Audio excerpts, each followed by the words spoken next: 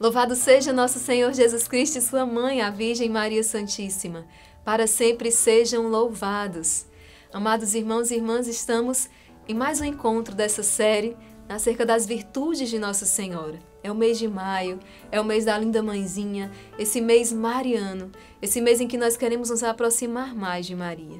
Como o irmão Luiz Maria falou, o irmão Manuel Maria confirmou, é o mês de suplicarmos graças, é o mês do derramamento das graças por excelência, porque todas as graças nos vêm por meio de Maria.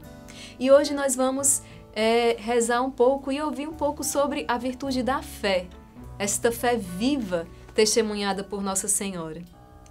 Nós podemos ouvir Santa Isabel quando ela já proclama a respeito de Nossa Senhora, né? quando da visita que Nossa Senhora lhe faz.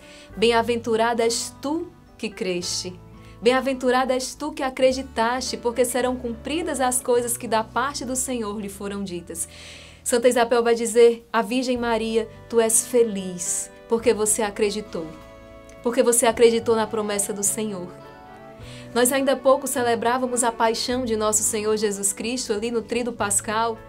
E nós vimos naquele momento decisivo, não é? Aquele momento em que os apóstolos fogem, os discípulos abandonam nosso Senhor, alguns traem, negam Jesus, Nossa Senhora permanece.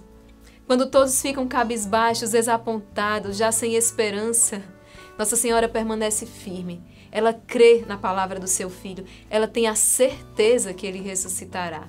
E a definição que Hebreus vai nos trazer. A carta aos Hebreus, a fé é o fundamento da esperança, é a certeza a respeito daquilo que não se vê. Nossa Senhora não via, mas ela tinha a certeza que a promessa se cumpriria, que o seu filho ressuscitaria. Era certo no coração de Nossa Senhora, porque porque ela é cheia da fé, ela, ela acredita na palavra do Senhor. E Hebreus também ainda vai dizer: sem a fé é impossível agradar a Deus. Meu irmão, minha irmã, como está a sua fé? Você é aquela alma devota de Nossa Senhora, mas que não tem coragem de se lançar na divina aventura. Sabe, a gente costuma dizer aqui com os jovens: coloca o pé, depois Deus vai colocar o chão. Né? Com Deus, na divina aventura que a gente vive, é assim. Ou você só coloca o pé depois que o chãozinho está lá, bem aveludado no seu lugar. Com Deus as coisas não funcionam assim porque é preciso confiar. É preciso que tenhamos fé. Quantas vezes no, no, no, Evangelho a gente vai ouvir isso de nosso Senhor? A gente vai ouvir nosso Senhor nos convidando à fé. Ele vai sair de Nazaré por quê? Porque aquele povo não tinha fé. E a palavra vai dizer: então foi impossível fazer milagres naquele lugar, porque o povo não tem fé. A palavra vai nos dizer. Quando aquela mulher, a hemorroísa, toca no manto de Jesus, aquela, a fé daquela mulher chama a atenção do Senhor. É a fé sem a qual é impossível agradar a Deus. Nós, nós nos aproximamos então da Santíssima Virgem Maria nesse mês de maio, com o coração sedento, com o coração clamando por esta virtude, a virtude da fé, o dom da fé. Quantas passagens da Sagrada Escritura nosso Senhor vai exortar a essa necessidade da fé? Para que os milagres aconteçam, para que as curas sejam operadas, para que se obtenha a salvação. Eu trago aqui um episódio quando os discípulos questionaram Nosso Senhor, está lá em Mateus 17, 19. Senhor, por que não podemos nós expulsar este demônio? Jesus responde àqueles homens, por causa da vossa falta de fé. Em verdade eu vos digo, se tiverdes fé, como um grão de mostarda, que é a menor das sementes, gente, mínima assim, ela é pequeniníssima. Né? Se tiverdes fé como um grão de mostarda, direis a esta montanha, transporta-te daqui para lá e ela irá, e nada vos será impossível. Se tiverdes fé, como um grão de mostarda, ainda que a sua fé seja pequena, né? Senhor, eu creio, mas aumenta a minha fé. Nós fazemos essa oração. Mas se tivermos fé, ainda que ela seja pequenina como um grão de mostarda, direis a esta montanha: transporta-te daqui para lá e ela irá. E nada vos será impossível.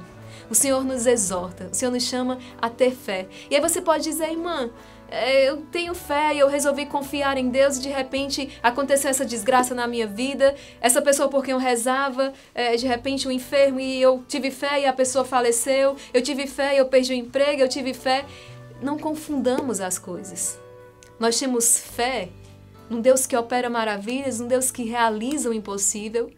E a nossa fé é nele que tudo converge para o bem dos que amam a Deus. Meu coração ama a Deus. Eu tenho fé, eu sei que Ele cuida de mim, eu confio nele. Eu confio nele, isso não quer dizer que eu dito o que ele tem que fazer na minha vida, mas a fé que faz com que eu me abandone em suas mãos. E a minha oração ela é cheia de fé. E como é a minha oração? Senhor, seja feita a tua vontade, assim na terra como no céu. A palavra diz que o Senhor cuida de nós, se Ele cuida dos pássaros do céu, se Ele cuida dos lírios do campo.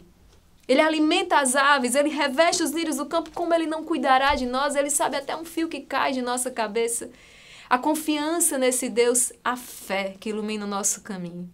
A Madre Kelly tem uma música belíssima gravada, Viver de Fé. Eu quero viver de fé. Para muito além dos sentimentos, para muito além do que eu estou sentindo, para muito além das minhas vontades, eu quero viver de fé. Essa fé nesse Deus do impossível. Eu sei que o céu se move, e ele se move ao meu favor. Porque o meu coração ama a Deus, porque eu busco a glória de Deus. E o céu, ele se move para realizar a vontade de Deus. E se eu, com a minha vida, desejo realizar a vontade de Deus, eu faço parte desse movimento. Meu irmão, minha irmã, aproximamos-nos mais ainda da Santíssima Virgem Maria e peçamos o dom da fé. Senhor, eu creio, mas aumenta, aumenta a minha fé. Neste mundo que vem como um vendaval para apagar a chama da fé em nossos corações, não permita que a chama da fé acesa em minha alma seja apagada, mas que ela seja ainda mais é, atiçada, que ela incendeie ainda mais a chama da fé para que eu possa comunicar essa fé a outros corações. Bem-aventurada aquela que acreditou, feliz aquela que acreditou, porque serão cumpridas tudo aquilo que da parte do Senhor foi dito. Meu irmão, minha irmã, que essa palavra possa vir abençoar o seu dia, que essa palavra possa ser dita também sobre você, sobre nós. Felizes somos nós, por quê? Porque acreditamos na palavra do Senhor. Eu deixo como propósito a meditação hoje, de Hebreus 11. E ali você vai poder é, ver a narrativa da fé dos nossos patriarcas a fé desses homens que foram até as últimas consequências em nome da fé, viveram de fé, e que o exemplo, o testemunho deles possa inflamar o seu coração a viver de fé. Hebreus 11, deixo aí para sua reflexão, para sua meditação, amparados por Nossa Senhora, que nós alcancemos e recebamos do bom Deus esse dom da fé. Vamos rezar essa salve rainha, pedindo por intercessão de Maria esse grande dom do qual nós estamos tão necessitados. Salve, Rainha, Mãe de misericórdia, vida, doçura e esperança, nosso salve.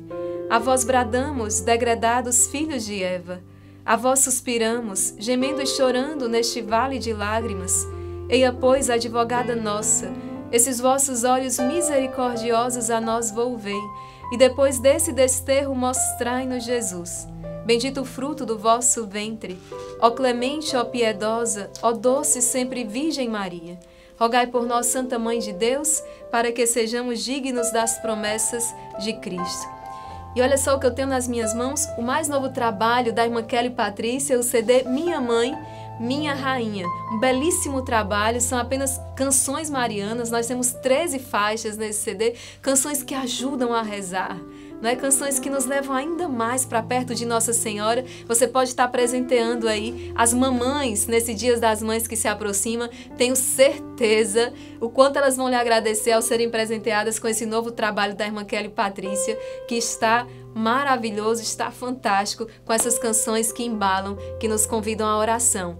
Esse trabalho que será lançado no Misericórdia Brasil, esse evento de cura e libertação que o Instituto Hesed realiza, está na sua décima edição. E você vem participar com a gente. Vamos encher o CFO aqui em Fortaleza, vamos lotar, não é, esse lugar para juntos clamarmos a misericórdia do Senhor, com a presença do Padre Duarte Lara, exorcista, do Ironis Pudar, o missionário, do Padre Anderson Andrade e do nosso Tony Alisson também que vem para cantar conosco, né, para louvar o Senhor conosco e claro, a nossa irmã Kelly Patrícia cantando as misericórdias do Senhor.